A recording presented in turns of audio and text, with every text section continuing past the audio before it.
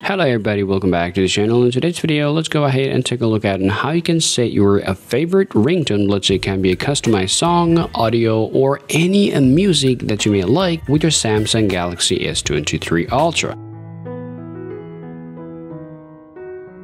Now, choosing your ringtone on your Samsung S23 Ultra is pretty quick and easy. Now, if you want to do this, the first thing that you want to do, you want to head over to settings on your device here, then find out this option called sounds and vibrations. So if you tap over there, if you come over here, this is going to show you all those different parts for ringtone, notification sounds, and more. Now, for ringtone, you have to select this option. Now, this is going to show you the SIM card option. You have to select which SIM card that you want to change the ringtone of. So for me, I'll choose SIM 1. You can too if you want to. Now first, if you come over here, this is going to show you all the default Samsung ringtone that you may like on your device. Now if you add the one that you may like from your file manager.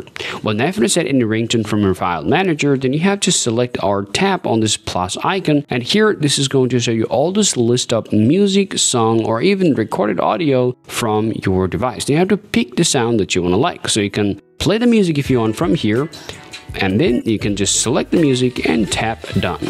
Now if you just tap down here, you'll see now it says custom and under this section you see your the song is added to your ringtone. Now, if we're to get a call, you'll be able to hear the different or the selected song or music that you have set it with your Samsung Galaxy S23 Ultra.